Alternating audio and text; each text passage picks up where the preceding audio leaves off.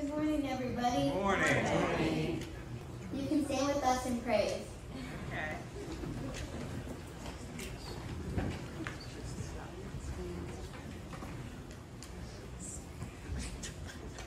We're going to see if you remember the hand motion to this song. It was a long, long time ago now. You came from Heaven. heaven. Uh oh, wait a minute, guys. They're not doing it with you. You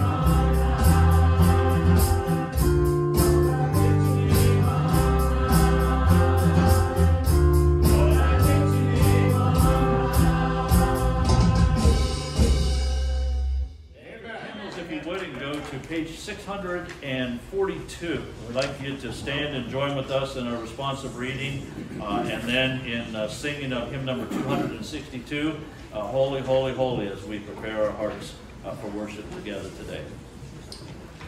I'm going to be reading the non-bolded text, which is the individual, and the bolded text is the congregational portion. 642, Christ's exalt, exaltation. If therefore there is any encouragement in Christ, if there is any consolation of love, if there is any fellowship of the Spirit, if any affection and compassion, make my joy complete by being of the same mind, maintaining the same love, united in spirit, intent on one purpose. do nothing from selfishness or empty conceit, but with humility of mind, let each of you regard one another as more important than himself. Do not merely look out for your own personal interests, but also for the interests of others. Have this attitude in yourselves, which was also in Christ Jesus, Who, although he existed in the form of God, did not regard equality with God a thing to be grasped, but emptied himself, taking the form of a bondservant, and being made in the likeness of men. and being found in appearance as a man, he humbled himself by becoming obedient to the point of death, even death on a cross. Therefore also God highly exalted him, and bestowed on him the name which is above every name. That at the name of Jesus every knee should bow of those who are in heaven and on earth and under the earth, and that every tongue should confess that Jesus Christ is Lord, to the glory of God the Father. May the Lord bless the reading of his word. And now remain standing and turn. Um, 262, I believe it is. Holy, holy, holy.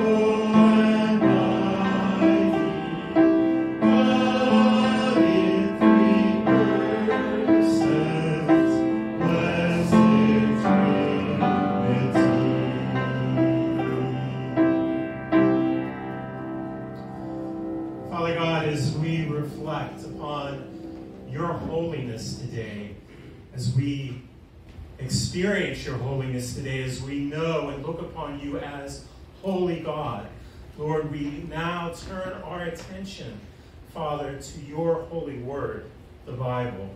Father, we pray right now, Lord, as Pastor Dave is coming and leading us, Lord, um, through your word as he preaches and teaches us and imparts your word to us. We ask, Lord, in the name of Jesus, that you open our hearts and you open our minds and you open our ears to hear your word and apply it to every fiber of our being, starting with our hearts and continuing into our mind.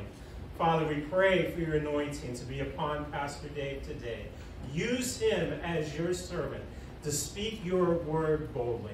For it's in Jesus' name that we Again, it's pray. great to have you worshiping with us today, and I'm going to ask if you would to take your Bibles with me, and we're going to continue in our study of some of the life of Paul in the book of Acts. Uh, we'll be in Acts chapter 12. If you're using a Pew Bible there, it's page 1268. Uh, we'll be there in a few moments. Um, if you recall, just a couple weeks ago uh, in our study, as we considered together some of the things with the Apostle Paul, it was the aspect of how we could better bless the church, how we could bless the church and its ministry, uh, noting together the importance of being faithful even in the small things in our life as a Christian, and then certainly allowing uh, the Lord, as a result of our fellowship and so on, those aspects of life to be uh, promising for the Lord. We saw in the life of Barnabas there, uh, if you remember, the importance of somebody standing beside, in this case it was the Apostle Paul, but the importance of having somebody that stood beside you, somebody that encouraged you, somebody that you knew.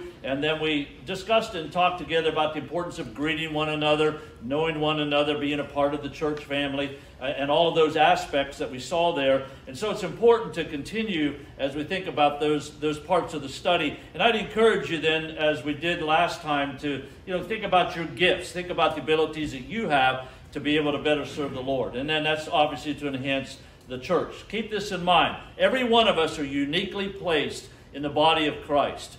We are here for a specific purpose.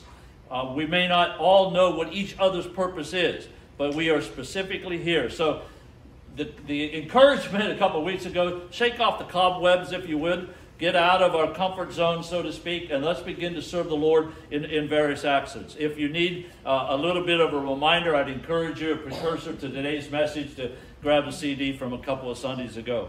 So we're going to take a look today here in Acts chapter 12. So if you have your Bibles, uh, if you would, please turn there with me. Uh, the concept that we'd like to think about, the theme of the message today, is what are the expectations uh, when I serve God faithfully?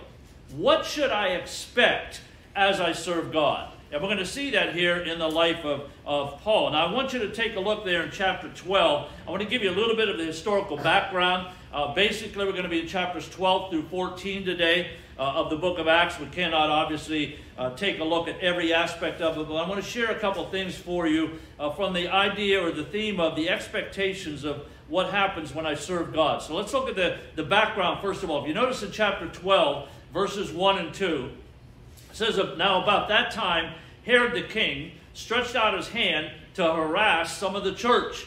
And then he even killed James, the brother of John, with the sword. This is King Herod Agrippa I.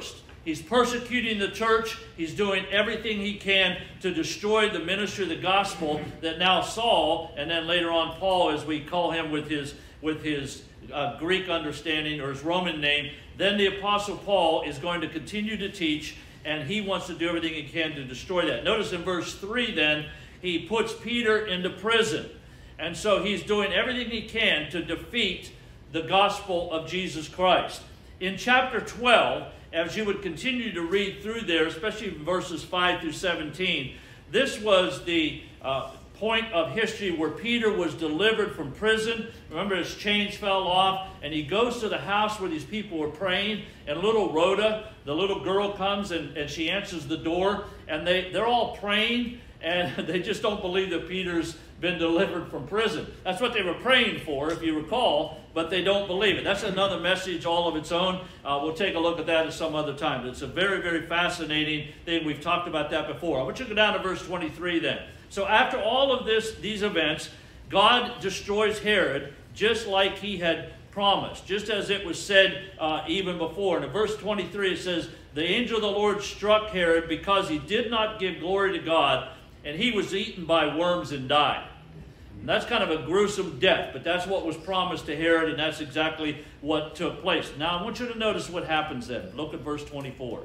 This is very important because in verse 24, it says the word of God grew and did what?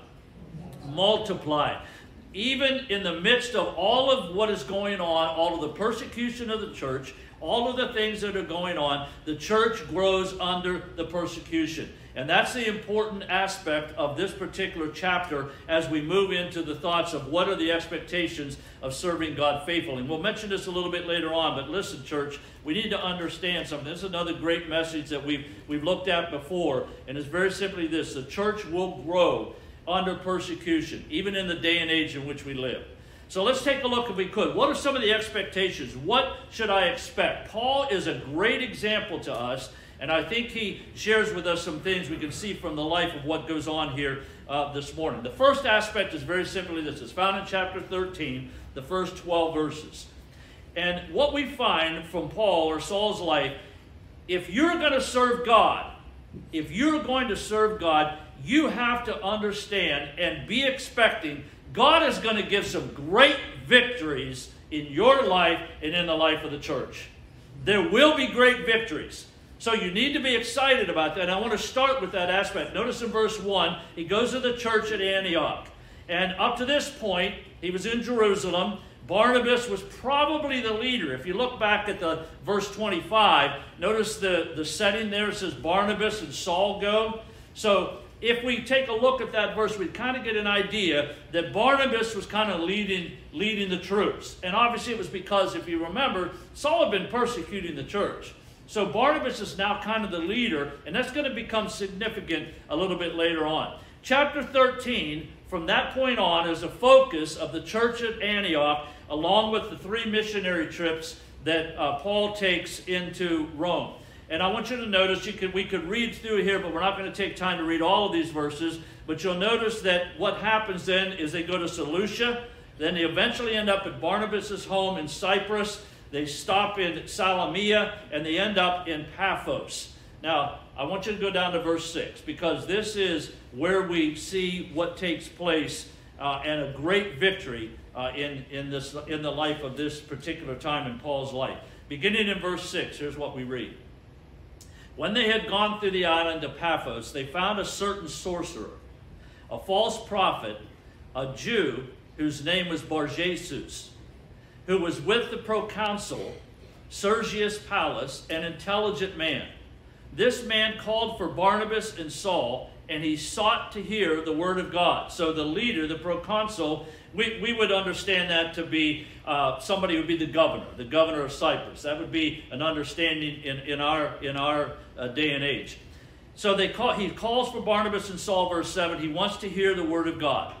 But if you'll notice there, Elymas, the sorcerer, that was his translated name, withstood them, seeking to turn the proconsul away from the faith. Then Saul, who also is called Paul, and if you remember weeks ago, we told you this is the very first time you find Paul now beginning to use his Roman name here in chapter 13, verse 9. Saul, who also is called Paul, filled with the Holy Spirit, looked intently at him. And he said, O full of all deceit and all fraud, you son of the devil, you enemy of all righteousness, will you not cease perverting the straight ways of the Lord? And now indeed the hand of the Lord is upon you. You shall be blind, not seeing the sun for a time. And immediately a dark mist fell on him, and he went around seeking someone to lead him by the hand. Then the proconsul believed when he saw what had been done, being astonished at the teaching of the Lord. I want you to notice, if you would, here, we have a tremendous, there's a tremendous victory in this particular instance in Paul's life. He is sharing the word of God, and God is at work in the life of this governor, of this leader. And listen, church, there will be many, many times in your life as a Christian and in the life of the church, and we need to celebrate it. There's many, many times when we are going to have great victories for God. And we need to be, we need to be thankful for that. I think far too many times, think about when you discipline your kids. How, how, how often do we spend, we spend 90% of our time correcting our children instead of spending 90% of our time trying to encourage them and build them up? And I want you to notice that here in this, as you serve the Lord faithfully, there's going to be great victories here in the ministry at the church. There will be great ministries. We've already seen it.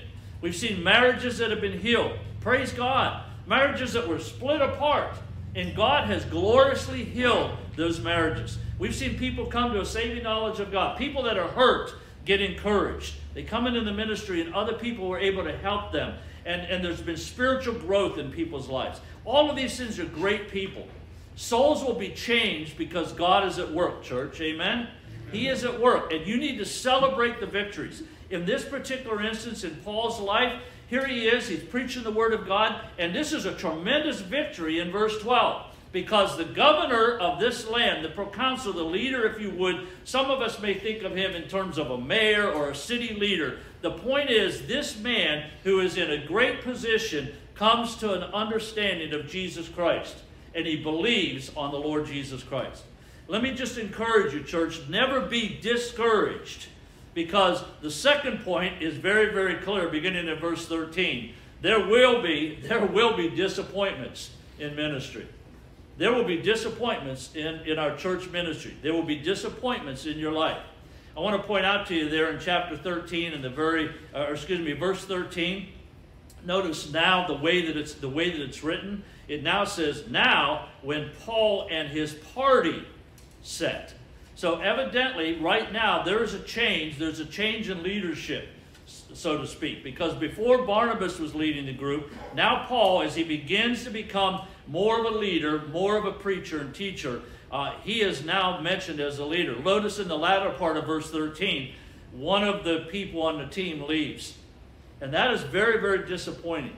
If you're in a church ministry and you have somebody who steps away from their position of leadership, it is very, very disappointing. And we need to understand as a church that there will be disappointments in our ministry. There will be disappointments even in your own life that you have to deal with.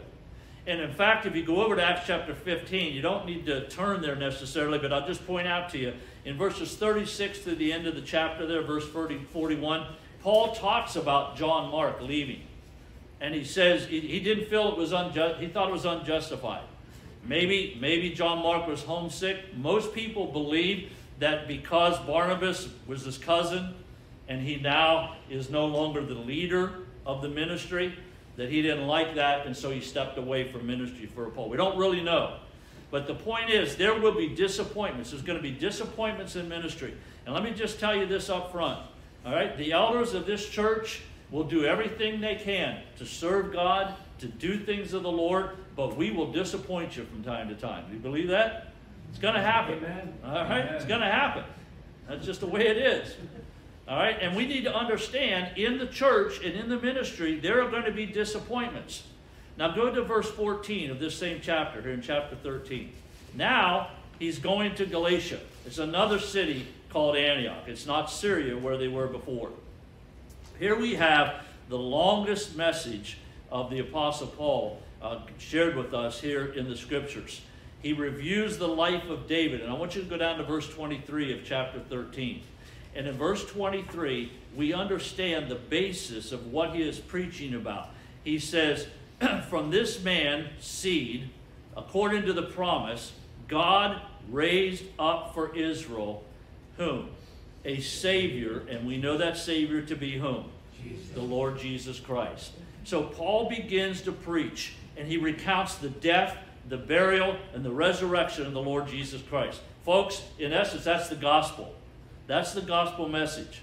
So here's Paul, and he's preaching this, and, and he's, he's sharing the word of God. And we need to understand this is, this is very, very important in Paul's teaching because what happens now, go down to verse 39, and again, I encourage you to read these chapters on your own, but I want you to notice in verse 39 what he says about Christ. And by him, everyone who believes is justified from all things from which you could not be justified by what? By the law of Moses. It's Christ who justifies. So Paul is now beginning to teach that and they so that they would understand it's not the works of the law that save your soul. It's not the works that save you. So here you are ministering for God. You need to be reminded of this. Ephesians chapter 2 verses 8 and 9. For by what? Grace are you saved through faith, and not of yourselves. It's a gift of God, not of what? Works. So it isn't a matter of me working. And Paul is trying to get them to understand this change in teaching because the law had specific, if you would, guidelines or actions or works, things that they had to do, not only on certain days, but certain aspects, if you would, of worshiping God. That's a stark contrast to what Paul is preaching here. And it's a stark contrast to where we are today. We do not live our salvation based on what we do. Our salvation is based on the grace of God. It's what God has provided for us. And we're going to see that throughout the teaching, not only here, but in the weeks to come. Notice, if you would, down in verse 42. The leaders then say, hey, we like this. We, we're, we're encouraged by, we like this message. So I don't know how often this happens in a preacher's life, but notice verse 20, 42. When the Jews went out of the synagogue, the Gentiles begged that these words might be preached by them the next Sabbath. They couldn't wait to come back to church. They couldn't wait to get back in the house of God. They couldn't wait to hear the preaching of God's word.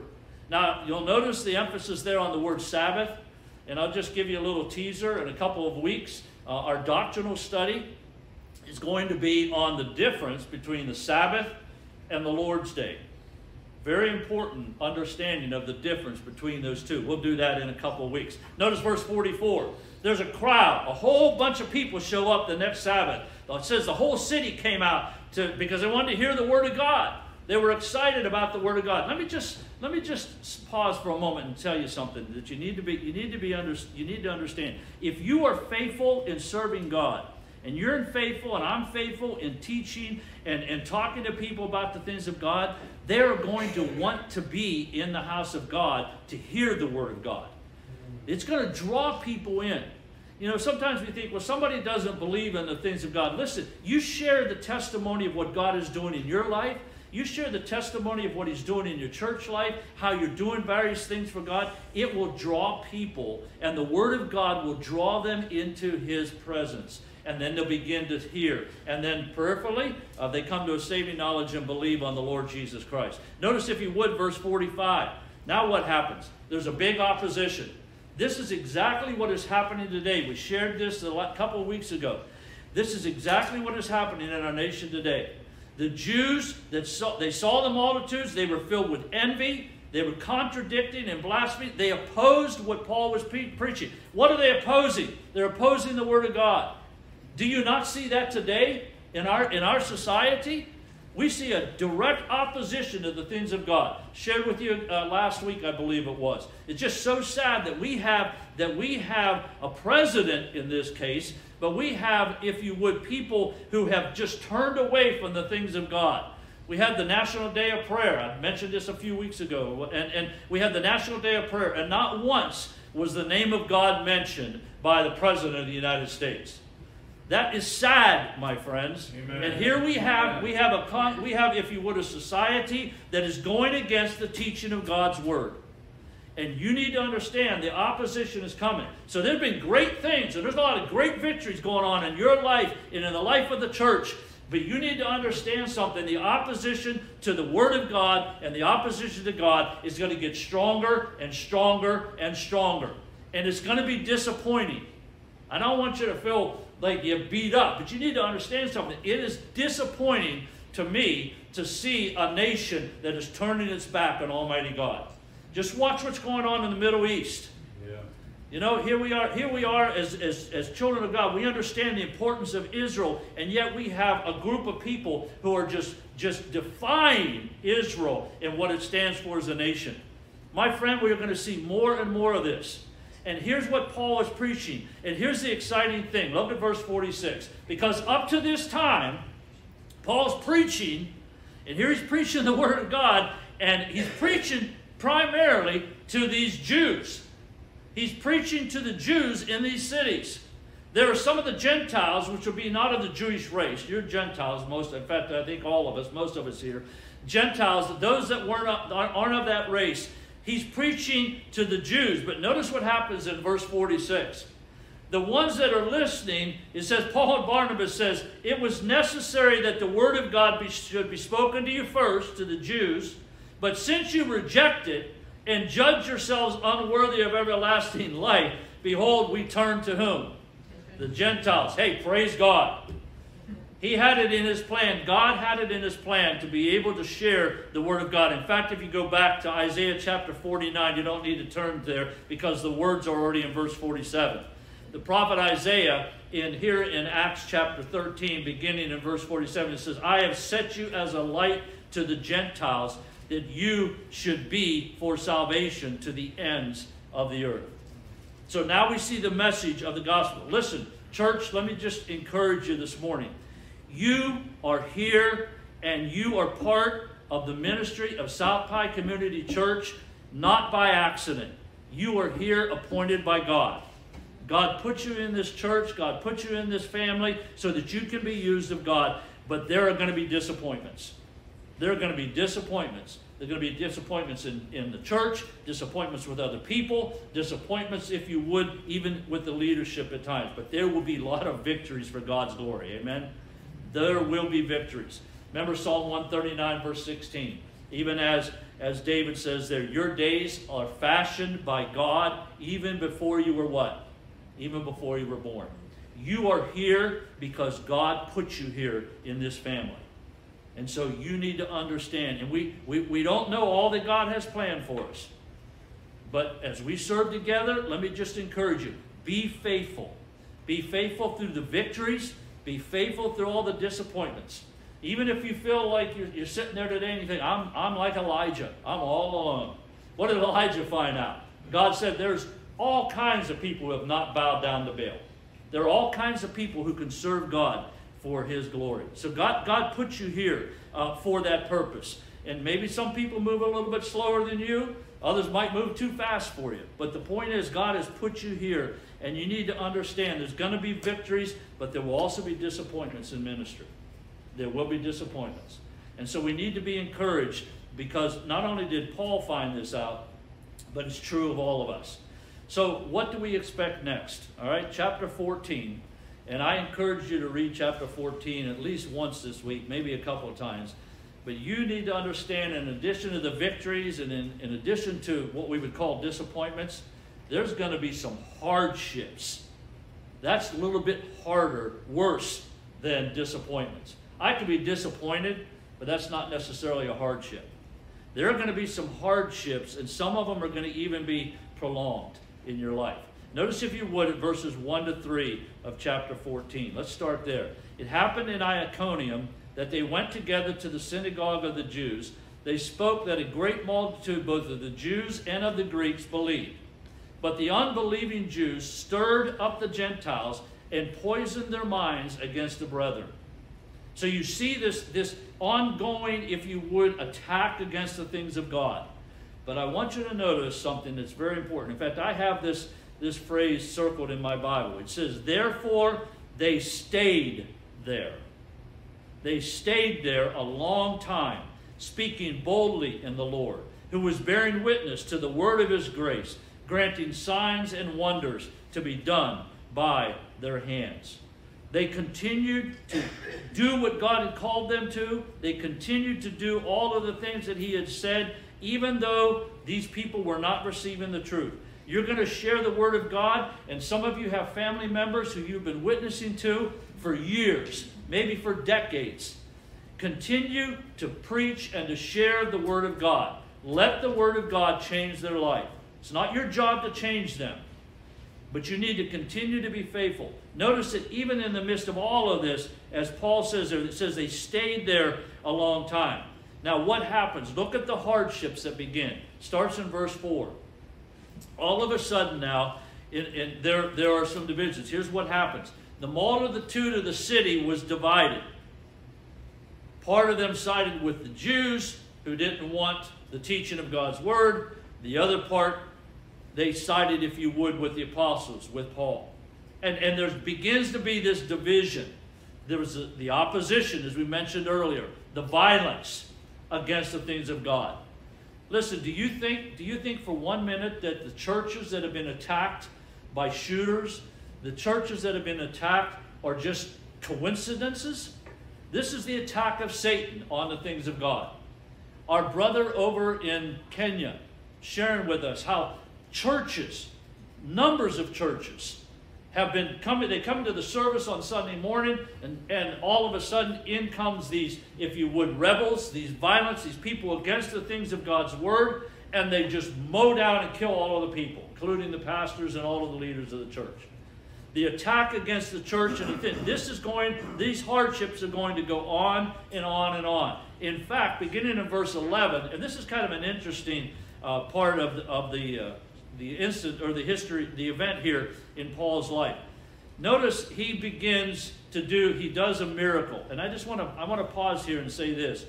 In the early church, remember, God used various miracles in Paul's life to prove the validity of the Word of God. We don't see these, we don't see these miracles today. All right, so when you turn on the television and you see a, a, a, preacher standing up and he's healing people, you know, because of his works, he's hitting them or he's doing different things, so on and so forth. Those are not the miracles of God. Okay? Those are not. Amen. Can God perform miracles? Absolutely. We've seen it many times over. But in the early days of the church, these miracles were performed. And so here's what Paul does. You'll notice he, he heals this man in verses 9 and 10. Now, notice what happens. When the people saw what Paul had done, verse 11 of chapter 14, they raised their voices, saying in the Lycaonian language, The gods have come down to us in the likeness of men. Barnabas, they called Zeus. Paul, Hermes, because he was the chief speaker. Then the priest of Zeus, whose temple was in front of the city, he brought oxen and garlands to the gates, intending to sacrifice with the multitudes. They were going, they're setting up Paul and Barnabas and these other preachers, they're setting these men up as being gods. They want to worship them. Verse 14, but when the apostles, Barnabas, Paul, Barnabas and Paul, hear this, they tear their clothes and they go in among the multitudes, crying out and saying, Men, why are you doing these things? We are just men with the same nature as you. And we preach to you that you should turn from these useless things to the living God, who made the heaven, the earth, the sea, and all the things that are in them, who in bygone generations allowed all nations to walk in their own ways. Nevertheless, he did not leave himself without witness, in that he did good, gave us rain from heaven, fruitful seasons, filling our hearts with food and gladness.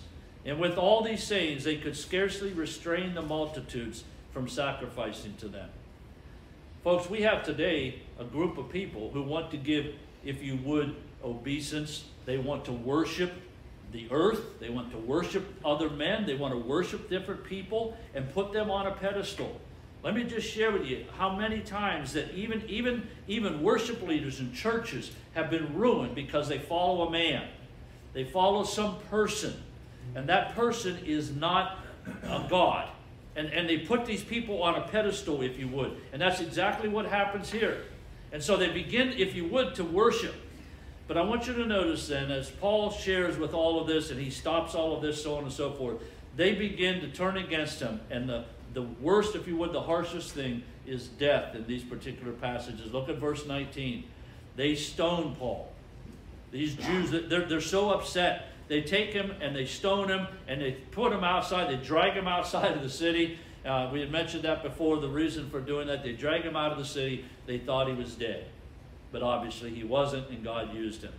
So now you have all of this negative. So here's all these great things are going. And maybe things are going great in your life, and, and God's doing great things in your life. There's going to be disappointments. There's going to be hard hardships in your life. Some things are prolonged. Some things just seem to keep piling on. It just seems to be very, very difficult.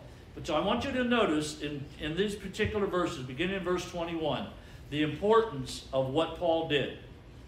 When he had preached the gospel to that city and made many disciples, they then returned to Lystra, Iconium, and Antioch. Here's the, here's the point. We'll continue reading in a moment. Even in the midst of all these difficulties, in spite of all of the opposition, in spite of all people stoning him, what did Paul do? He continued to minister and he continued to do what God had called him to do. You have hardships in your life, you have difficulties in your life, you might even have struggles within the church body at times you still serve God faithfully. Don't give up serving God because of some hardship or some difficulty. Notice continued in verse 22. He then went about strengthening the souls of the disciples, exhorting them to come, if you would, to continue in the faith. And he says, We must through many tribulations enter the kingdom of God. So when they had appointed elders in every church and prayed with fasting, they commended them to the Lord in whom they had believed. And then they went on to Pisidia, and they came to Pamphylia. And when they had preached the word in Perga, they went down to Attalia. And from there they sailed, sailed again to another Antioch, where they had been commended to the grace of God for the work which they had completed. Now, when they had come up and gathered the church together, they reported all that God had done with them, and that He had opened the door of faith to the Gentiles. And so they stayed there a long time with the disciples. Listen, folks, contrary to what these prosperity gospel pastors have to say, I call them pastors, preachers, talkers, whatever you want to label them, contrary to what they have to say uh, and, and preaching, telling us that our faith, you know, is going to make us healthy, it's going to be wealthy, everything's going to be great. Uh, you know, we're going to hear all of these things. There, there's a Greek word. There's a Greek word for those that believe that. You know what it is? Baloney. it's false. How do we know that? Throughout Scripture, we, we read it all the time. Peter says in 1 Peter chapter 1, verse 7, he says, he reminds us, your faith is going to become more precious even as it is tried by what? Fire. That's, that's the essence of this hardship in your life. Hebrews chapter 12, read verses 3 to 11. Just be reminded of it. Even, even the Lord's chastening is there to correct us. You know, the, the Lord chastens, and he, he says, even as a, he says, a human father corrects you. So why shouldn't you expect your heavenly father to do that? Because he will yield that faith and, and that fruit in your life.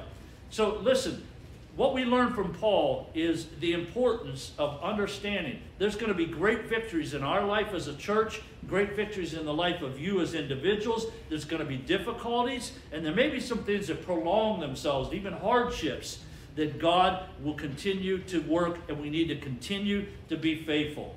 Now, I want to share something with you in closing. I'm going to ask you to turn over to the book of Colossians, chapter 4, because I think this is the essence of how we can accomplish this.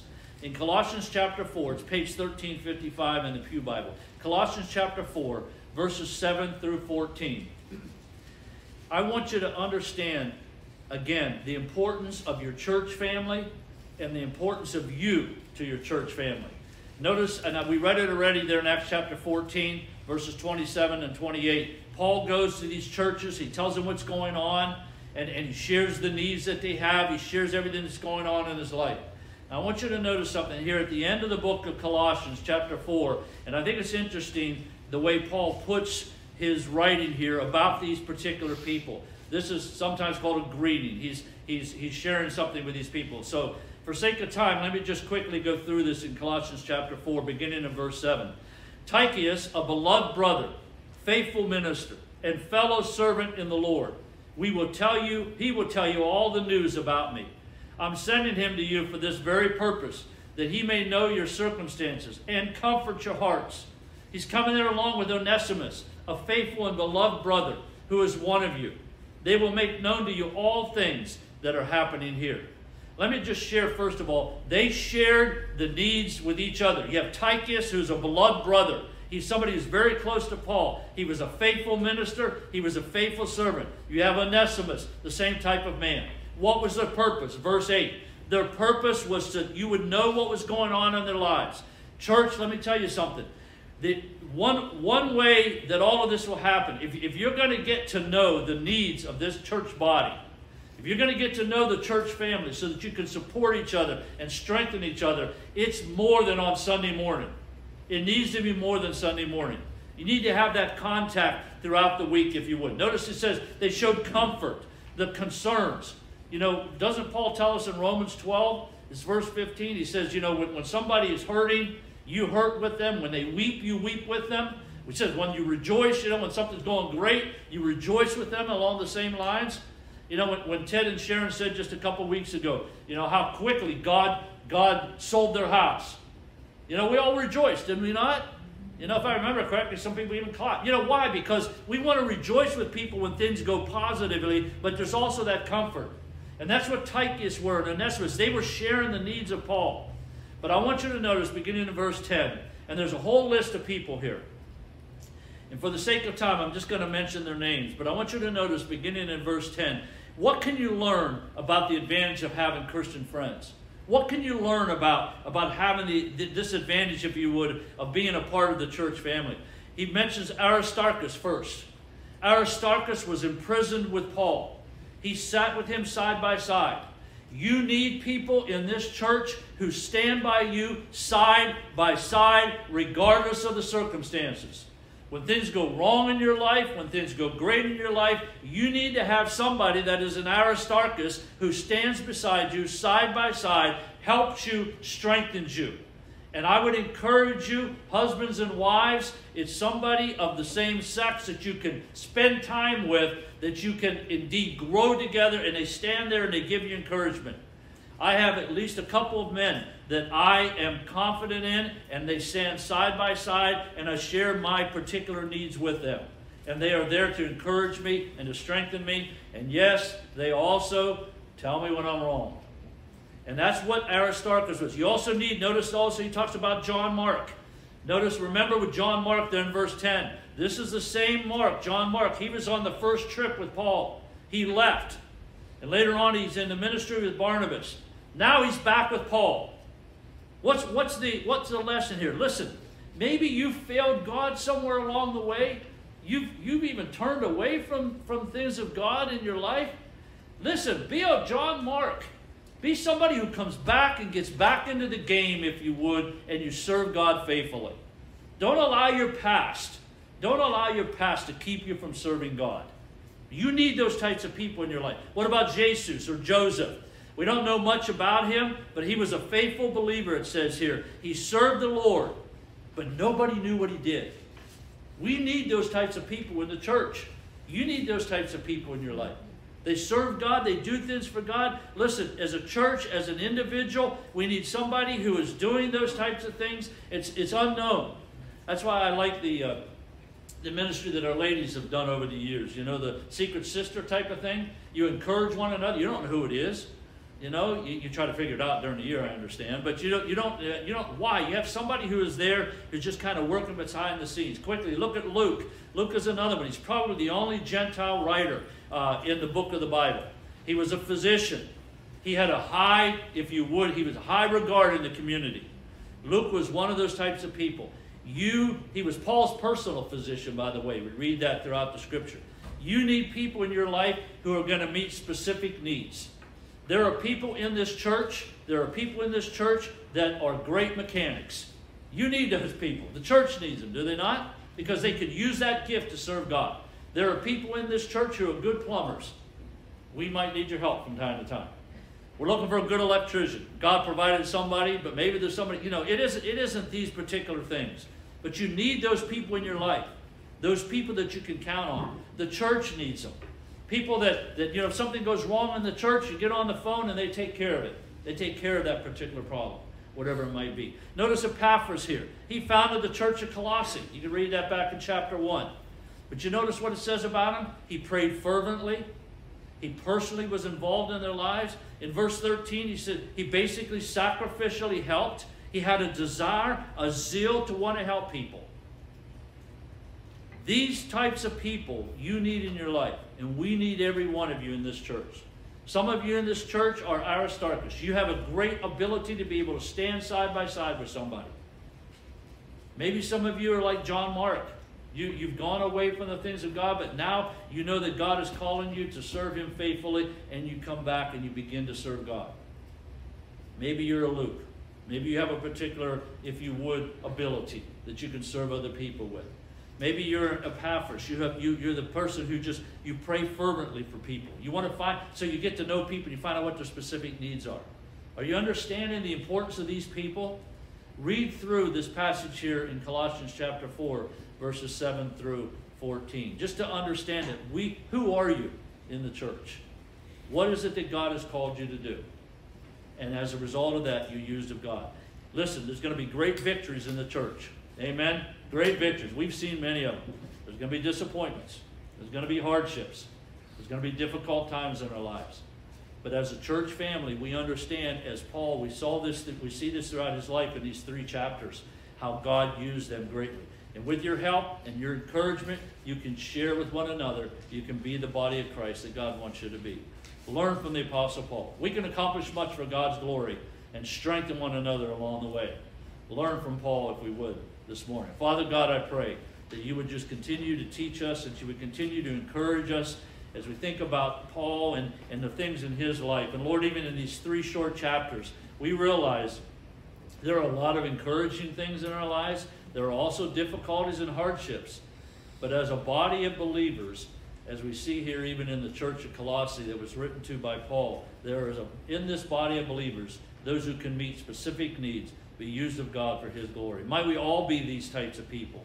Might we all be an encouragement to one another so that as we go through ministry for you, you, and you receive the glory. And as a result of that, Father, other people come to a saving knowledge of Christ. Teach us from your word, I pray, in Jesus' name. Encourage us. Amen.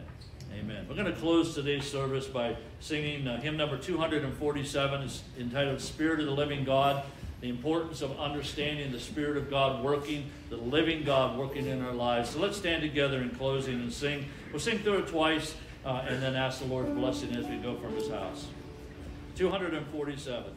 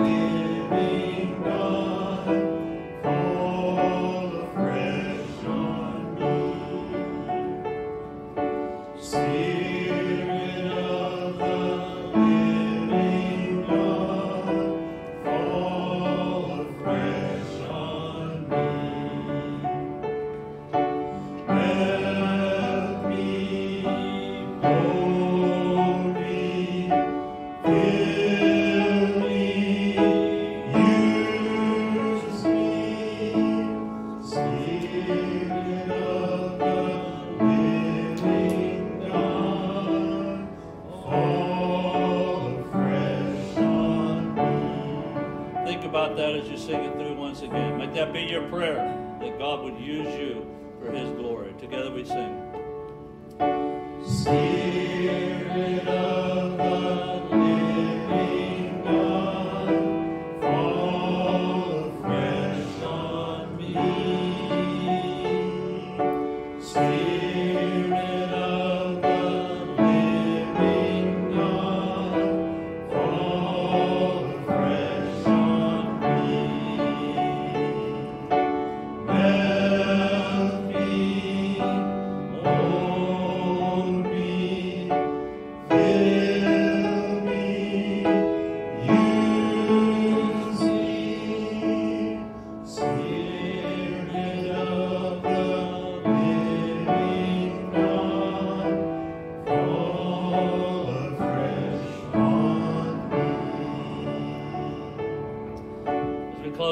service today, let me just encourage you. You know, the words of that hymn, you know, melt me.